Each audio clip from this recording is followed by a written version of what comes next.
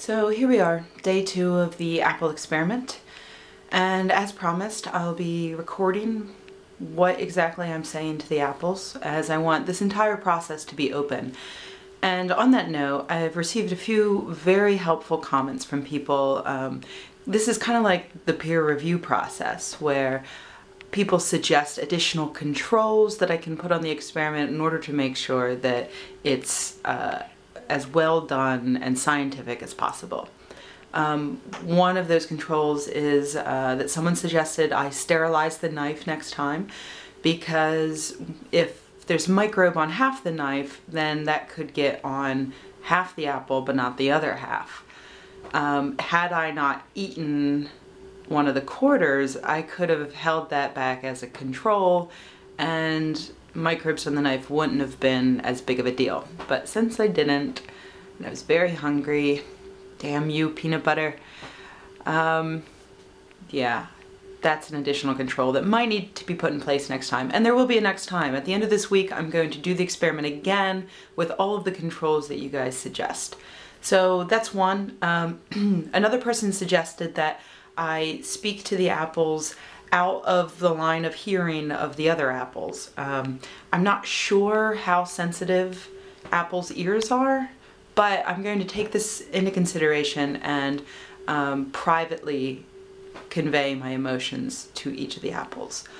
So thanks for that. And the other one came from a believer on Nikki's Facebook page. Um, a believer suggested that having mustaches instead of uh, love and hate might be a bit of a problem um, in that it's too fun so that even the hate apple despite being lambasted every day um, it might still be in a pretty good mood because it's got a comedy mustache on it.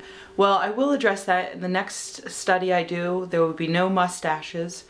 Um, but that said, I have to say that I really did take this into account um, because as you can see on the jars, um, the hate apple has a villain mustache. Uh, here, take a look.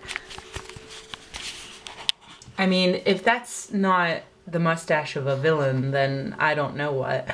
And then um, I think that this is like a hero mustache.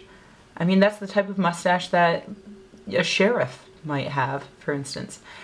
And uh, the neutral mustache, I just see as like a, you know, an old man. A, maybe a kindly old gentleman uh, who you don't really pay much attention to. So I, I did consider that when choosing the mustaches, but I'll take this into consideration and next time around, no mustaches. Okay, I'm in the next room now where the other apples hopefully can't hear me. Um, so here we go. Um, hate apple, I, I don't, there's no easy way to say this, but frankly, you're fat. I would suggest that you do a bit more dehydrating before being seen in public. Hey, Love Apple. Baby, you looking so fine today. I would totally hit that. And also, I just want to say that for an apple, you seem remarkably intelligent. I don't know what it is. Maybe it's just the look in your skin. Um, yeah. Mega hot. Love you, babe.